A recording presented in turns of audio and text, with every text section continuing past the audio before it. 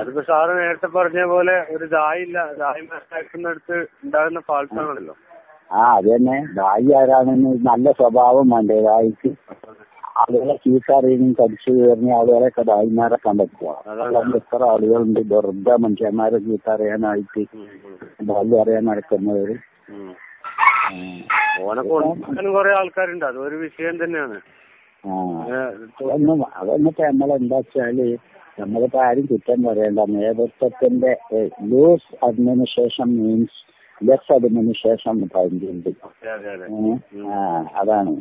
ഒരു സംഗതി എന്നാ സ്ട്രോങ് ആയിട്ട് അത് പറ്റൂല അറിയാത്ത ഒരാളുണ്ടെങ്കിൽ സംഘടനയിൽ വേണം.